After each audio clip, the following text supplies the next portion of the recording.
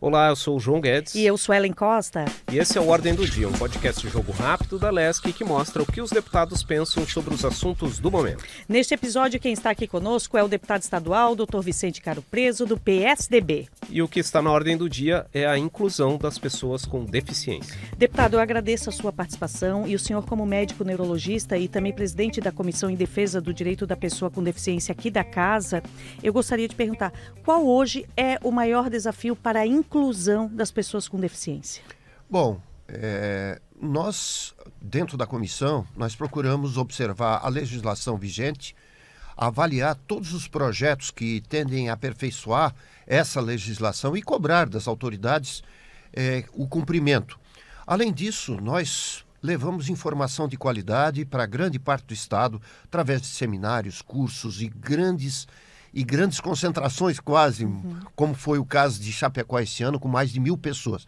Informação de qualidade para melhorar o conhecimento, por exemplo, da causa do autismo, da inclusão eh, da, da pessoa com deficiência no ambiente escolar, da síndrome de Down e outras deficiências, como nós temos feito aqui, inclusive na sede da LESC essa questão da informação é importante porque o professor tem que saber como lidar, o profissional da saúde tem que saber como lidar, o colega tem que saber como lidar com o colega na escola que tem que é uma pessoa com deficiência, né, doutor? Sim, é, é, é uma coisa muito complexa que exige uma equipe dita multidisciplinar. Em relação a isso, nós temos feito um trabalho muito grande para conseguirmos acelerar a formação de terapeutas ocupacionais e fonoaudiólogos profissionais que estão faltando em grande parte das equipes que compõem essas entidades que são realmente as é, heroínas aqui do, do Estado. Estou me referindo às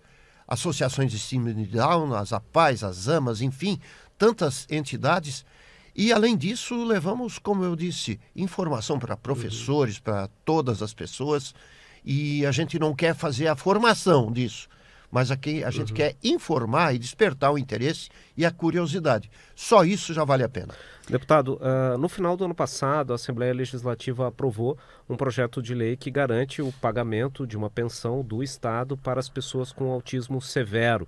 Uh, isso foi aprovado no final do ano passado, mas a gente tem nesse momento essas pensões começando a serem pagas. Que benefício isso traz, o quanto isso é importante para essas pessoas aqui em Santa Catarina? É uma lacuna que já existia uma lei nesse sentido que previa o pagamento, ou que prevê o pagamento de pessoas com deficiência severa mas não o autismo. o autismo. Então nós fizemos essa cobertura a tantas pessoas que hoje é, que a família delas, ou o pai ou a mãe, não pode trabalhar, já para começar.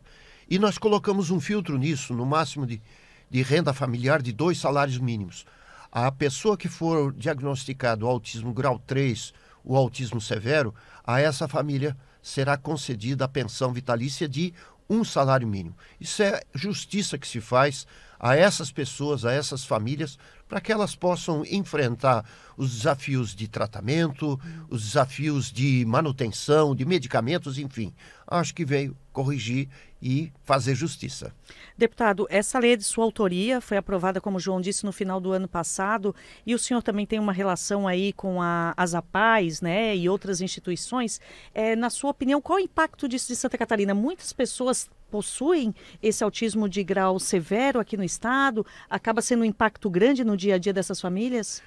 Olha, na, na rede das APAES e AMAS, nós temos aproximadamente 3.500 pessoas nessa faixa. Então, é muito importante que o Estado esteja presente também. Eu, como apaiano raiz, pois é, a minha família teve problemas sérios, sofrimento, e através disso, um, um empenho muito da minha família para inaugurar a segunda PAI do Estado de Blumenau. E quando eu cheguei em Jaraguá, já como neurologista formado, não deixei de cumprir a minha missão, minha função com um voluntariado como médico. Isso eu tenho falado com as pessoas que cada um de nós fizer um pouco, a coisa vai, né? A gente sempre tem que dedicar um pouco às pessoas que precisam de nós. É essa missão que eu tenho feito ou procurado fazer aqui na Alesc. É, deputado, a comissão realiza esses eventos, muitos têm esse teor de capacitação de profissionais de saúde, capacitação de professores, mas eu queria que o senhor falasse uh, o que, que a Assembleia pode fazer ainda pro, sobre a questão da inclusão das pessoas com deficiência no mercado de trabalho. Existe essa discussão aqui na casa também? Sim, é, nós tivemos grandes eventos já, né? só em 2019, antes da, da época da Covid, foram mais de 70 mil pessoas reunidas é, de maneira virtual, principalmente presencialmente. Um desses temas foi a inclusão no mercado de trabalho das pessoas com deficiência. Existe uma cota para empresas com mais de 100 funcionários que tem que ser obedecida. E nós lutamos para que isso aconteça. Não é uma coisa fácil, precisa de conscientização, mas também precisa de um esclarecimento muito grande para empresários, para o próprio Ministério Público que faz essa cobrança e também para todos nós que militamos nessa área. Nós temos recebido uma atenção muito grande de várias cidades, procurando até é, profissionais de saúde para que emitam os laudos atestando que a pessoa tem deficiência, quando visivelmente é, essa pessoa tem, para que ela possa ser recebida e a empresa cumprir o que a lei manda. Né? Então, esse ciclo tem se, tem se essa roda está girando. E, e, a gente é, tem uma esperança muito grande que isso vá fazer realmente a inclusão. É uma das maiores funções da, é, da comissão.